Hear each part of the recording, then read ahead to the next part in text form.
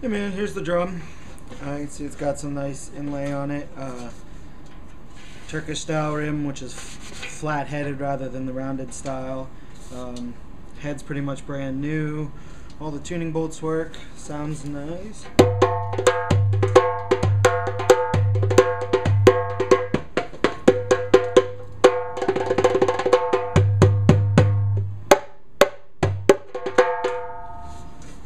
There you go.